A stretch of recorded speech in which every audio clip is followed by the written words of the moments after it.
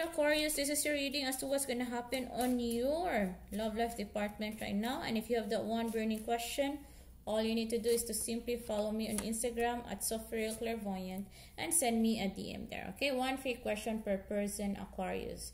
Today, I can sense there's one person who is really having a very good stable connection with you, Aquarius, and it's time to harvest the fruits of your labor, the fruits of having a very good connection with this person. And also, I can sense you're happy today when it comes to your love life. Congratulations, you have a good connection, plus you are happy with the love life. And I can sense you are really like trying to get your own individuality. Um, you're not dependent on this person, which is a good thing because I can sense that most of us most of us, most of you Aquarius who are into a connection, sometimes you tend to be very dependent on that particular person. But at least now you're not, which is a good thing though. Yeah. Okay, so this is your reading, you guys, as to what's going to happen in your love life department today, Aquarius. Congratulations with the happiness.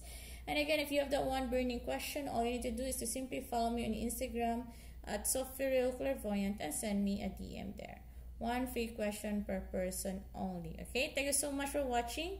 And sending you energies of love love love and abundance abundance abundance aquarius